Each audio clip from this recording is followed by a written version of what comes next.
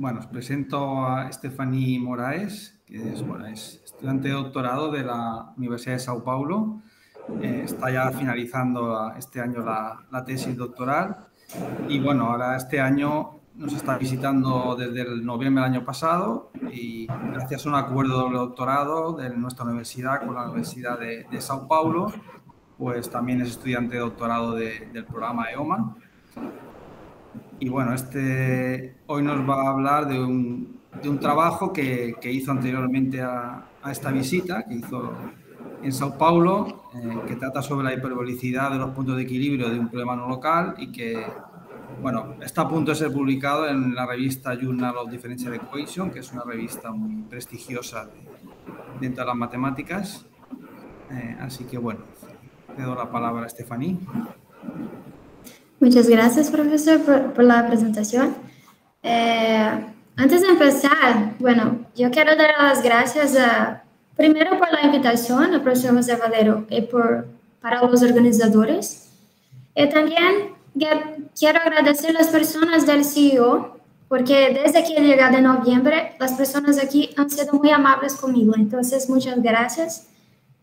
Y bueno, entonces voy a empezar. Eh, uh, ahora voy a hablar en inglés. So, today I will talk about the concept of hyperbolicity for a non-local quasi-linear problem. So, this talk will be based in this work that I did with Professor Alexandre Carvalho. Uh, he is my advisor in Brazil. Okay, and but before I start, I want to give you a motivation about the idea of, of hyperbolicity. And for that, I will consider this ODE here. So we are working in R2. And we can see that 0, 0 is a solution of this ODE.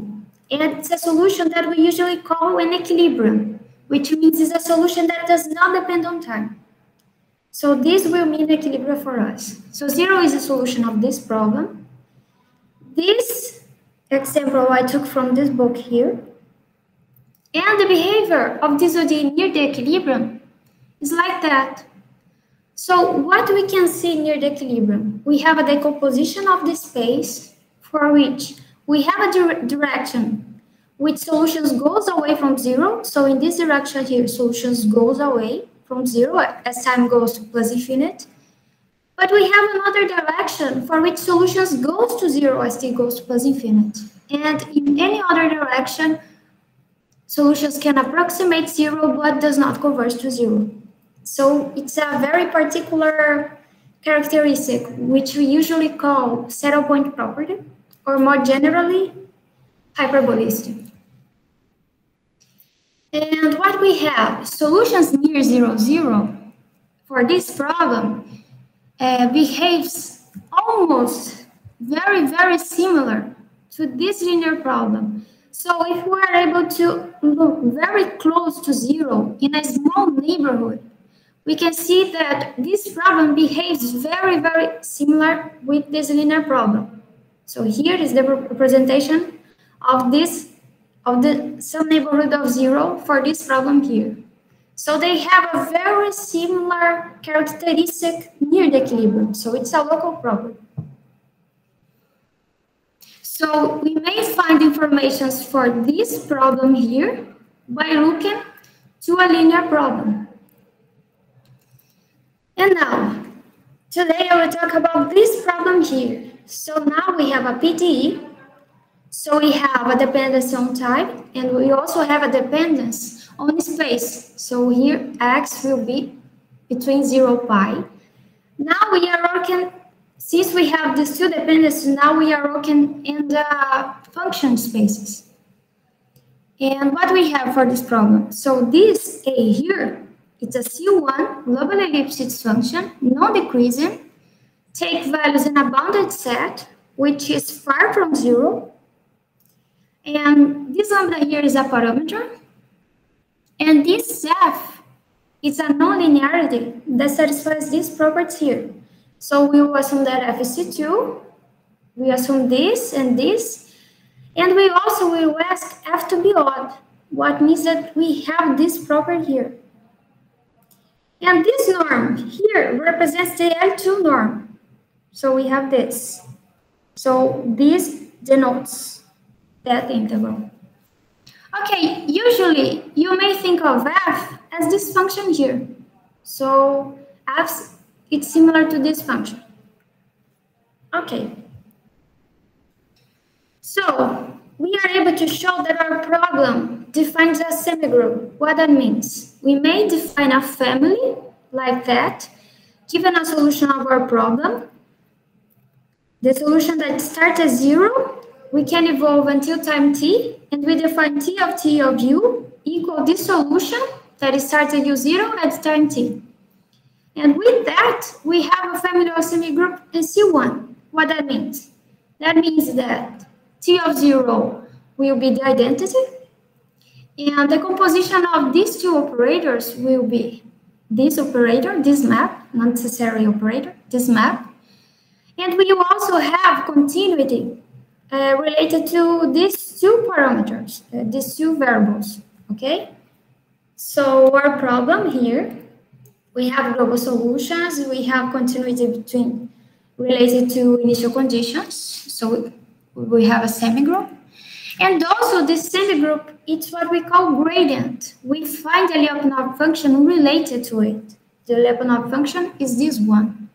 And what is the advantage of that? Basically, because since we have this Lyapunov function, we know that if you understand the set of equilibria, that is a set of solutions that does not depend on time, so solutions that satisfies this, what we have? We have a certain characteristics for gradient semigroups.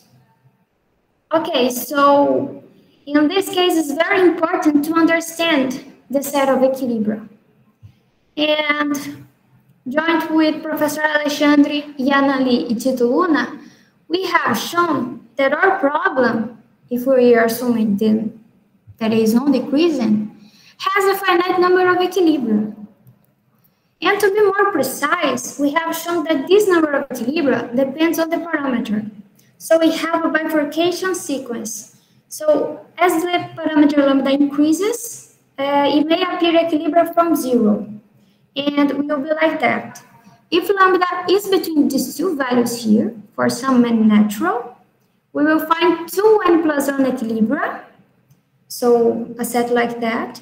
So we have functions that comes from 0 pi to r, which does not, which will be solutions that does not depend on time.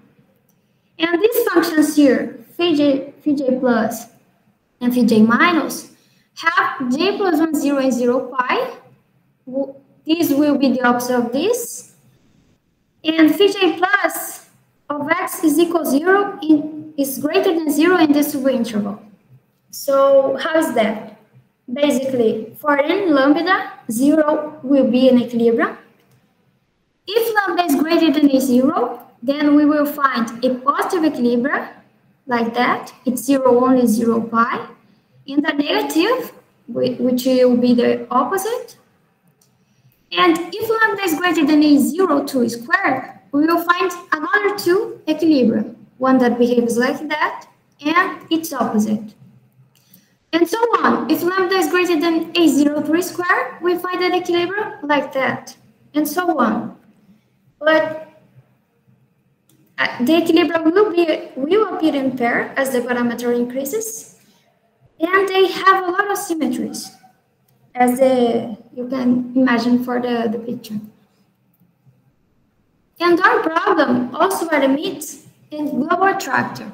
What that means? That means that we find a compact for which the evolution, that is T of T of A for all T is equal A of A.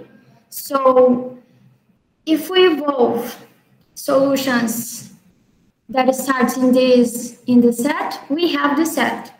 So it does not we do not deform the set. And this compact has a very nice property that given a bounded set for all bounded set, we have that the solutions that starts in this bounded set will converge to this compact as time goes to plus infinity. And understanding the attractor is understanding the dynamics of the dynamical system. And what is the relation with the equilibrium and the attractor? Basically, in our situation, since we have a gradient structure, and we also have a finite number of equilibria, we have this characterization here. So A will be a finite union of sets like that. And this set, which you usually call a stable manifold of phi, is given by that. So it's the set of U and H10 for which we find a solution that starts at U, uh, G of 0 is equal U, and converts to phi as t goes to minus infinity. And for more information and details about semigroups and attractor, I recommend this reference here. Okay, so why do you study hyperbolicity of equilibria? Basically, I put here four points. In order to understand the asymptotic behavior of our dynamical system, and in the search of the structure of the attractor, these two are very related. And in maybe it could help us to obtain the Hausdorff dimension of the attractor, what, what could be useful, which could be useful somehow. And the most important reason is that hyperbolicity is a concept robust under perturbation. That means if we have that for a problem an equilibrium which is hyperbolic, for problems which are closed in some sense, we will, we will also have this structure. So it's a very nice problem. Okay. And in what context do we, do we do we study hyperbolism? Well, usually we are working in a Hilbert space.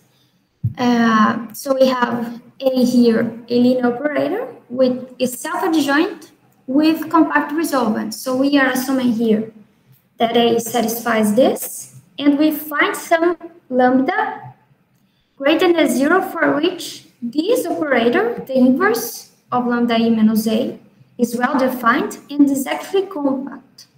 That means the image of bounded subsets is a, is a pre-compact set.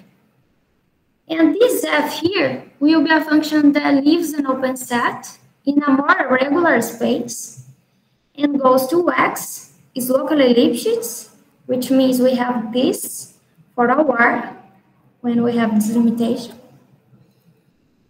So Suppose, for instance, the phi is an equilibrium for this problem here. We can show that, as in the first ODE, the example that I have shown, it is also true that solutions of 3 close to phi behave similarly to solutions of some linear problem. This problem here. And to be more precise, if I consider L like this operator, what we have, we can define sets the resolvent. This whole lambda, the resolvent, is the set of complex number for which this inverse is well defined, and this number here is finite. And the spectrum will be the complementary, which in our case is basically the set of complex number complex numbers for which we find a function which is non-zero in the domain of A. And that satisfies this. Uh, I just want to observe that this equality here, this less equality, it's not true in general situations. In my case, it is true. But in more general context, we only have this inclusion. So this set here is inside the spectrum. Okay, if you assume that this spectrum does not intersect the imaginary axis, it's basically that. What we have, or in our case, if zero does not belong to the spectrum. So in this situation, for the linear problem, so for L, what we have? We have a decomposition of the space and we have projections. And using that knowledge for the linear, we have this result here. Uh, please do not be scared. it's uh, basically this theorem. Is saying we find a region that converges to the equilibrium to our phi. For, so we found a set of points that converge to our equilibrium, and we find a set of points that converge backwards to the equilibrium, but in some sense. Basically, I can show you by this picture. If the spectrum, if zero does not belong to the spectrum, what we have? For the linear problem, we have a decomposition of the space. So here we have zero, and we decompose the space in two parts. And in this direction, we have that solutions goes to zero as t goes to plus infinity. And in this direction, the solutions leave zero. And the interesting thing is that for the same linear problem, we have some similar behavior. So although it's the direction is given by a curve now, so it's not exactly this one, we have some similar behavior. So we find some u and define some s, for which in this u, solution goes away from, from zero as c goes to plus infinite. And in this s, solutions goes to zero as t goes to plus infinity. In any other direction, what we have, solutions can approximate our equilibrium, but leaves away. So basically what I'm saying here is that this previous theorem assured us that understanding the semi-linear problem uh, can be made by understanding the linear problem related to it. To it. So close to the equilibrium, so this is a local property, these problems behave similarly. Okay, now you may think, if this our problem fit the usual approach, and actually we cannot do that because, first of all, our problem is not semilinear. What this means? This means that we have this term here that multiplies the Laplacian. So this is the principal part of the equation, and this, and it's not linear. So our problem is what we call usually quasi-linear. And since we have the dependence of the the dependence on the O interval, what our problem is also non-local. This makes things a little difficult. So we cannot use the usual approach because since we have these properties, our problem is not, is not locally close to a linear problem. So we cannot study close to the equilibrium by studying a linear problem which is close to our problem. This does not happen. So we need to define a new concept of hyperbolicity that is more general, but has a accordance with the traditional concept. Okay, so now I will present the definition.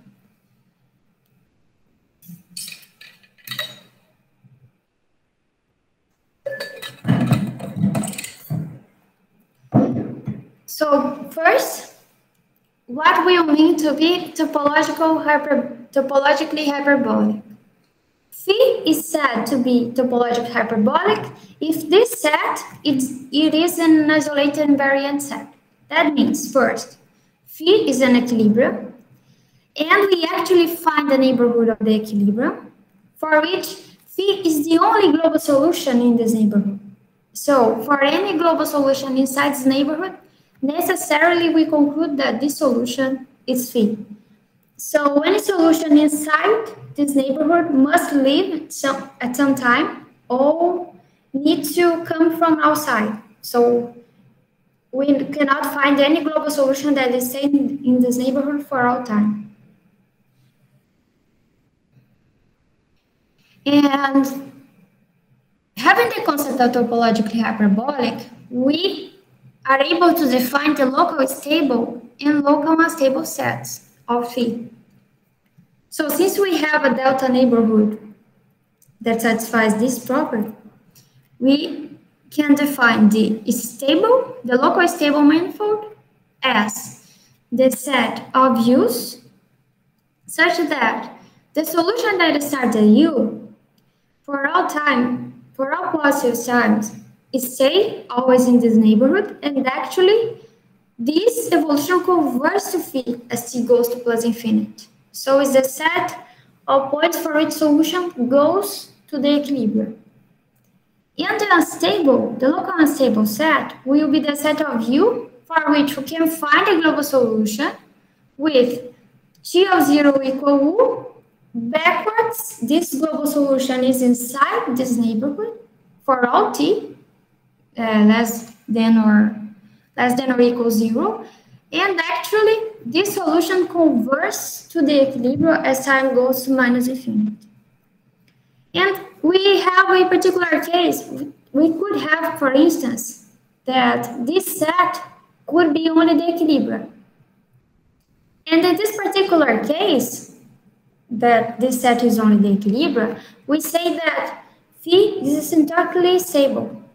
Otherwise, phi is unstable. And strict hyperbolist, what will mean? Phi will be hyperbolic if you can, if we can decompose the space in two parts, so in a direct sum, and we have that phi is topologically hyperbolic, and we find the Lipschitz functions, so a functions come from a subspace to another, and another come from this subspace to the other. And these Lipschitz functions have constants less than one, satisfy this. And basically what I'm saying here is that these sets that I have defined, they can be seen as graphs of these Lipschitz functions. This will be hyperbolist. Okay, with these concepts in mind, we have the following theorem. So the sequence of bifurcation that uh, we constructed early satisfies this. So if lambda is less than or equal to zero, zero will be the only equilibrium. And in that case, zero will be stable. Otherwise, if lambda is greater than a zero, the positive equilibrium, the negative one will be stable and the others will be unstable.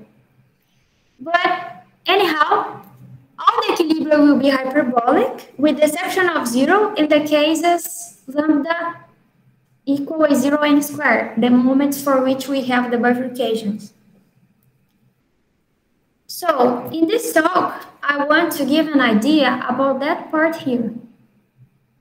How to prove this. In order to do that, I will consider this auxiliary problem. So this problem here, instead of a being here, a is, divide, A is dividing the nonlinear part. And this problem here is globally well posed. The solutions are jointly continuous with respect to time and initial conditions. So we have a semigroup related to it. And we have also a very nice thing. If we consider a change of variable in the time variable, what we have, so if we define t, given a solution of this problem, a solution of W, if we define t like that, we are able to construct a solution u for the quasi-linear problem. So we have this nice relation. Given a solution here, we construct a solution for our original problem. And actually, you can do the opposite too. Given a solution of the quasi-linear problem, we are able to construct a solution for the semi-linear problem. In particular, what we have, since the the problems are related by a change in the time variable, they share the same equilibrium because an equilibrium does not depend on time. So if phi is an equilibrium of the quasi-linear, it is also an equilibrium for the semi-linear problem. So what we thought? Well, this quasi-linear problem we cannot approach by the traditional theory, but this problem we can. So we thought maybe we can prove informations of a hyperbolist for this problem. And so we have a semilinear problem and we talk about linearization. See if we are able to understand the linear problem close to the semilinear problem, and then passing the information of the semilinear to the quasi-linear. This is not this is not trivial because this change of variables here depends on each solution, so it's not uniform. So this is not direct. We do not have a direct connection between these problems. Okay, but this we will work. So we are able to find answers for this semilinear problem and pass information for the quasi-linear. I will try to give an idea about that. But since this is a semilinear problem, we have that close to the equilibrium, this problem behaves similarly to a linear problem. And this problem we usually call linearization and will be given by that. So the semilinear problem is close to this problem here, where L is given by that. And hyperbolicity of equilibrium for the semilinear is proved if we are able to show that this operator here, that zero does not belong to this operator. Basically, L if L is injective. Well, let's, let's start with the easy, easier one, which be when phi is identically zero. When phi is identically zero, since we have this, we are assuming this, what do we have? This operator here, this part will disappear, and this is basically one. So we have that the linearization at zero is given by that. And this spectrum, we know uh, it's a spectrum and is given by this set here. So in the case when lambda is less than zero, all the eigenvalues are negative. That means for the semilinear problem, we find a neighborhood of zero, so an open ball that contains zero, and constants and constants k and beta, in a way that each solution is started that starts in this neighborhood it stays close to zero. Actually, we have even more. We have that we have an exponential decay. So every solution that starts in the neighborhood goes to zero as m goes to, to plus infinity. Since we have a relation between the semilinear and the quasi-linear, we what we have, we can we are able to show that each solution of the quasi-linear problem that starts at this point, since it is equal to some w, solution of the semilinear, satisfies this exponential decay. It's not the same because now we, the variable it's, it's another is c, not tau, but we also have an exponential decay. So because of that, we are we have proved that zero will be exponentially stable and hyperbolic in that case. When lambda is different from a zero and square, and lambda is greater than a zero, what we have? Zero will be unstable. And we, what this means? This means that we find a global solution for which we have the following. The initial condition is very close to zero, so it's small. And this global solution, when at uh, when tau when tau is equal zero is equal u zero, and backwards this solution is also small and we have this control. So this solution, basically this, this solution decays exponentially to zero as tau goes to minus infinity. Since again we have a relation between solutions of the semilinear and the quasi-linear, if we define t of t like that, t will be a solution of the quasi-linear for which we have an exponential decay backwards. So the what I'm saying here, I'm saying that this stable and unstable manifolds of the quasi-linear and the semilinear coincide. And we actually have more. We have that one in one part, we have exponential decay forwards. In another part, we have an exponential decay backwards. Now things will be a little more difficult when we talk about hyperboles for phi not equal zero, this is more challenging because we need to understand oper operator like that. And this term here makes things a little more difficult. So, define a family of operators for each var epsilon. We define this operator, L var epsilon. So this operator here can be decomposed as this part plus this part here, Well, L0 is given by that, and BU is this term here. So what we have, for this first part, this operator here is self-adjoint with compact resolvent, and it's actually a very well known operator because it has a particular form which, which we usually call Sturm-Liouville operator. That means the spectrum, this set here, can be written like that, where we have this. So each eigenvalue, each number here will be simple. So, and we also have another nice property. That is, we find an eigenfunction uk related to lambda k that has k plus 1, 0 and 0 pi. And in our particular case, we also have this symmetry for this p here. As a consequence, these eigenfunctions also are symmetric or antisymmetric in 0 pi. So for more details about operators which are Sturm-Liouville, I recommend this reference here. But in our situation, we need to understand not the Sturm-Liouville operator. We need to understand this operator here. And what we have for this operator, we also can write this vector as this. And it's very nice because we have that we can uh, name them in a way that we, these functions here, this will be a function, mi of j var epsilon will be a function, which will be continuous and actually non-decreasing.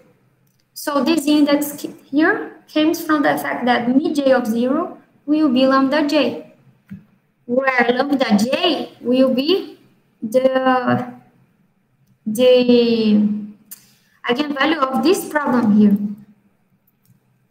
So we can ordinate this eigen, eigenvalues in a way that we have continuous functions for each j that satisfies this. And we also have more. We have that for a fixed var epsilon, these, these eigenvalues here, they have at most multiplicity 2, and they will be simple if they does not coincide with the spectrum of L0. So this is very nice. So mi of j is simple if does not belong to the section of L0. So does not belong to this set. Well, this is an example to give an idea of how these curves behaves. So the red lines, the red curves represent represents the paths, the curves of the eigenvalues. So this will be our mij's. So epsilon is here, Lambda here denotes the position of the eigenvalues. So if we cross an horizontal line here, will the intersection of this horizontal line will be the eigenvalues of L epsilon for this particular epsilon where the horizontal line touches here. For example, when var epsilon is equal to zero, so this intersection of this horizontal line with the red lines will be the eigenvalues of L0. So these will these are the eigenvalues of L0. Uh, before made the analysis the analysis of our problem, we need some pre preliminary result. So if you consider phi solution of this problem here. But in some subinterval 0r, And this norm here is given by that, okay? From 0 to r. What we have?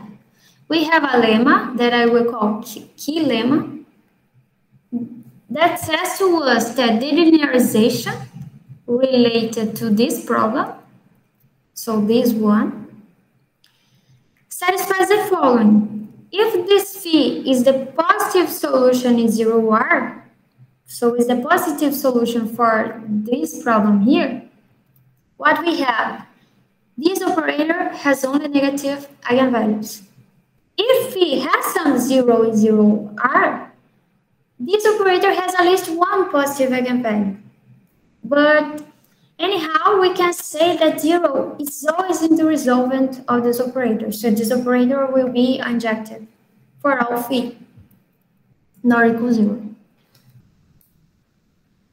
So the first part is to show that uh, with that assumption, A is non-decreasing, we have that the first equilibrium, which is the positive one, is exponentially stable and consequently hyperbolic.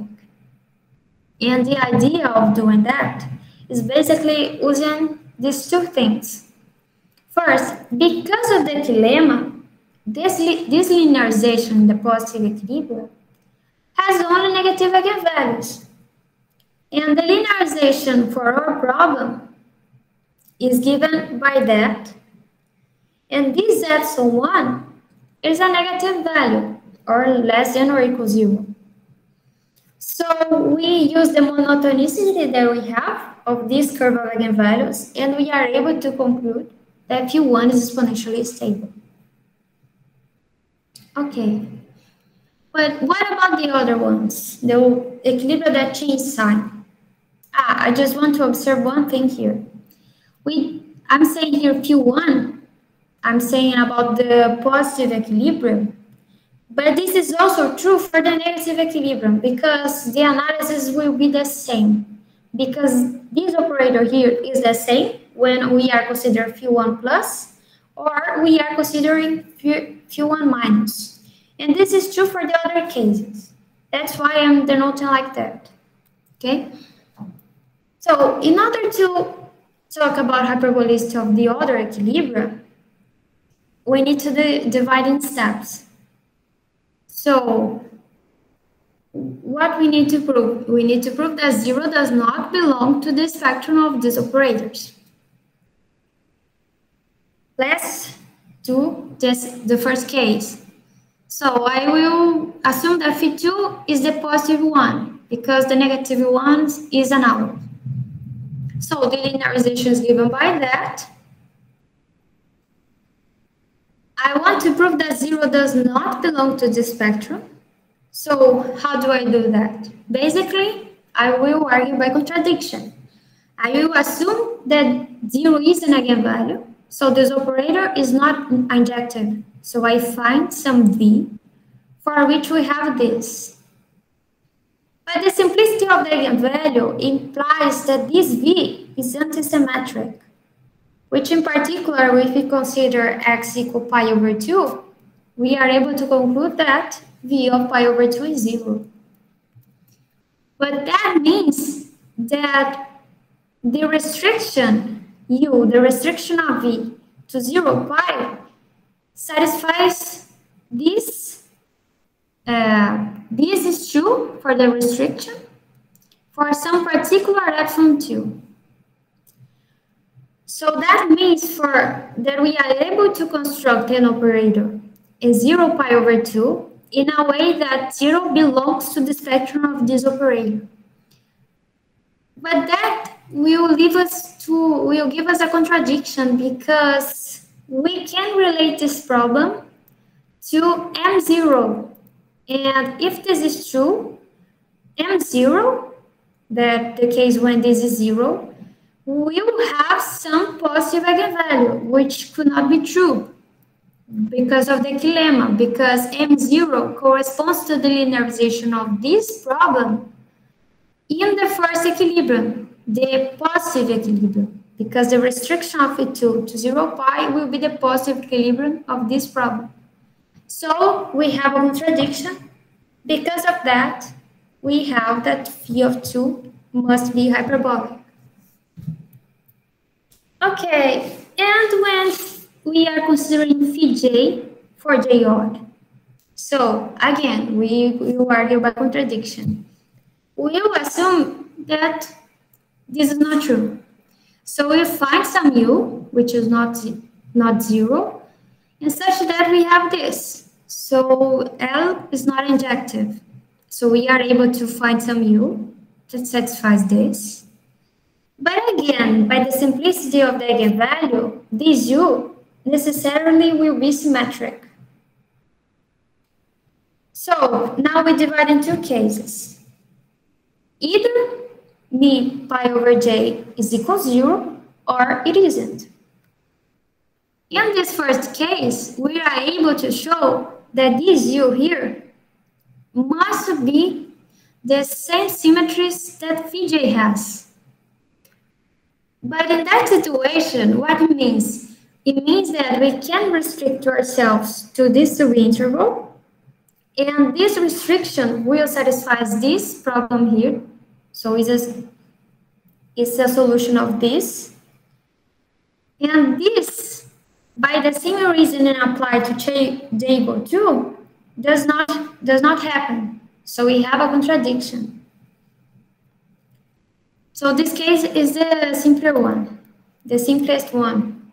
Now this is the difficult case when b pi over j is not equal to zero. So we have some u that we are assuming the existence of some u, and we are assuming that at this point pi over j this is not equal to zero. And we define two other functions, u1 and u2. Basically, the idea it's here below. So we imagine that j is equal 3 and this is our, our u. The idea is we have this function. What we do, this u1 is basically we translate, uh, we take this part and we start at this part. And then this other, this other part we glue here below. And U2 is basically the reflection of this index equal pi over 2. So we have here. So given a U, we're able to construct U1 and U2. And they are different from each other. And since we have this U1, U, U, U1, and U2, we are able to define V1 and V2, which will be solutions of this ODE. And observe that phi prime is also a solution of this ODE. So we have three solutions of this problem, of this equation. So let's prove that V1 and V2 defines a fundamental set of solutions which will imply that V prime is a linear combination of V1 and V2. Okay, so how we prove the, that? We argue by contradiction again. So we assume that this is not a fundamental set, so we can assume that V1 is equal to V2, but we are able to prove that alpha is equal minus 1, and that gives us this equality here. And this equality here, we, if we compute this equality at these points here, we obtain a relation, that one, which gives us to an homogeneous system, this. So with this relation, we have this system here, L of u is equal zero. So where L is this matrix, and u is equal this matrix. So if this matrix is invertible, we should conclude that this vector here is ident identically zero. But this cannot happen because we were assuming that this first point, it's not zero, right?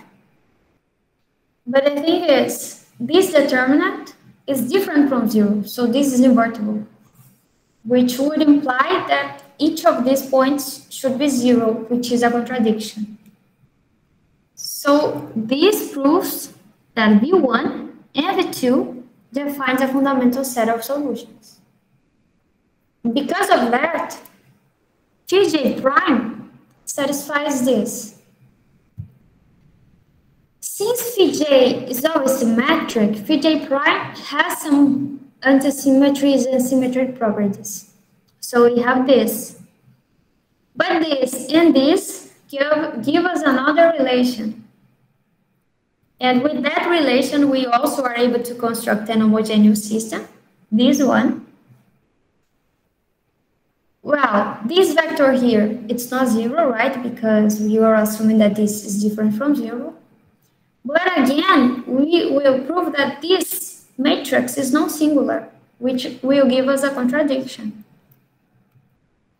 So, in fact, we have this lemma here that this matrix always has this determinant. So it's not zero for n, n, for n and n.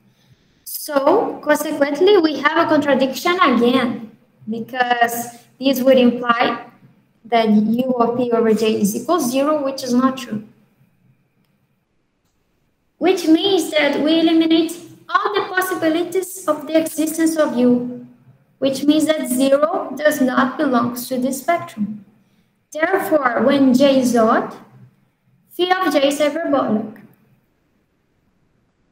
But when phi of j, uh, but when we have phi j for j even, well, basically what we do, we use symmetry properties in order to reduce our problem to a subinterval. And this subinterval will be uh, will be some problem which which belongs to we, we can apply the same idea of the previous case in order to conclude that zero belongs to the resolvent, which means that zero does not belong to the spectrum of this operator. So that's it. I hope I was able to convince you that we have this result here. Hyperboles of all equilibria with the exception of zero for these cases. And this is a basic reference if anyone wants to look. These two articles are very important and they play an important role in my article because they give us an idea about the spectral analysis when we have this nonlocal term. And this is a basic reference on the area. This work here uh, was the article where we made the existence of the bifurcation sequence. And that's it. Thank you very much. Gracias. Muito obrigada. Eh, gracias. Okay, so my question is about, uh, okay, you are using transform equation in order to prove the hyperbolicity. So you have, you have proved that in the transform equation, the spectrum zero is not in the spectrum. Okay, but my question is, when you come back to the original equation, this is uh, straightforward to obtain hyperbolicity, or you have to do something? Uh, basically, we are able to show that the stable manifold and the stable manifold coincides because of this relation. But in order to do that, it's very important that we have this condition here. Uh, this is not possible, for example, if we not consider that case. We need to uh, we we need to have a bound, a low bound for A, and the upper bound for A. So mm-hmm. we are able to do that because we have this. So although the change of variable is not uniform, we have some control on it. Mm-hmm. So I don't know if I answered your question. So. Okay, thank you. Gracias y un saludo a todos. Hasta luego. Muchas gracias. Hasta luego.